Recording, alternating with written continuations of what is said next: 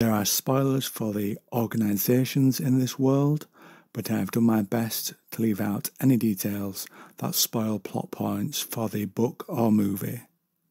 The Butlerian Jihad was a struggle against oppression between machines controlled by men being used against other men, and the outcome of this was a war to remove the machines entirely from humanity's lives.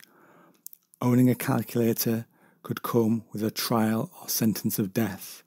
This command was enforced by religion through the Orange Catholic Bible that dictates, Thou shalt not make a machine in the likeness of a human mind.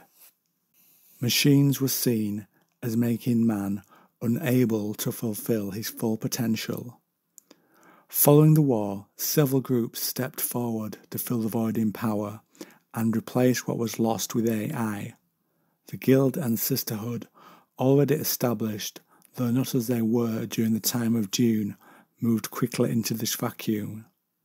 The main power group controlling all mercantile affairs was CHOAM. They controlled trade, whilst the shipping of goods, along with the transport of people, fell to the Spacing Guild. CHOAM was set up for the control and management of economic affairs, its power in the hands of the Emperor and the Landsraad, a body that represents all the great houses of the Imperium. Silent partners also within CHOAM are the Spacing Guild and the Bene Gesserit Sisterhood. Here is a little about each of these organisations and how they sit within things. The Bene Gesserit Sisterhood act as advisors to the Emperor and the major houses, but they work to a hidden agenda with separate objectives.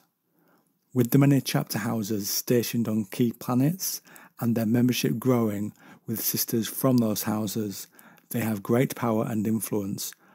Emperor Shaddam IV is a member of House Corrino. Upon winning the Battle of Corrin, they ascended to the throne. For millennia, their power was maintained through ruthless tactics and their Sardaukar armies. The Landsraad are made up of many houses.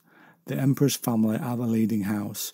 Other notable houses are House Atreides and House Harkonnen. This body represents them in the Imperium. The Council allows a mechanism for the houses to negotiate, create alliances, or declare a formal process, such as a vendetta or feud, with another house. Any path that narrows future possibilities may become a lethal trap. Humans are not threading their way through a maze. They scan a vast horizon filled with unique opportunities.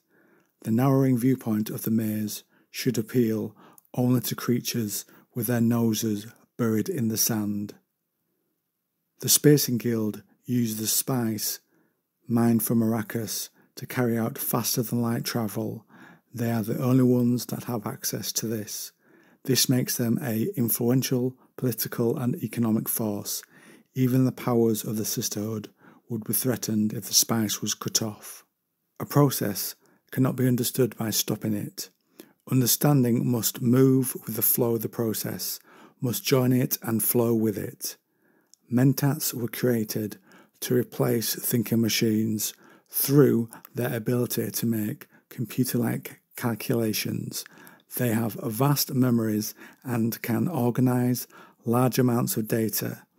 They were hired by the great houses as political advisors, as well as working for the sisterhood. An Ixian machine, you defied the jihad. There's a lesson in that too. What do such machines really do? They increase the number of things we can do without thinking things we do without thinking, there's the real danger. Ixians made complex technology that was in contradiction to the established rules of the jihad. They were protected in this regard by their political power and the demand from the great houses for what they made.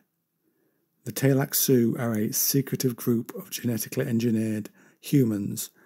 Their technology is organic they create creatures through their engineering, such as the face dancers, highly skilled assassins, and Ghola, artificially created people. They are isolationists and reveal very little to the outside world. The Tleilaxu and the Ixians technology fill the void made by the loss of thinking machines, and trade and transport are taken care of by the Spacing Guild and CHOAM. Governance of the Imperium is made by the Emperor, and below him the other great houses, and behind the throne, advising most, the Bene Gesserit Sisterhood. So you see the effect of the jihad.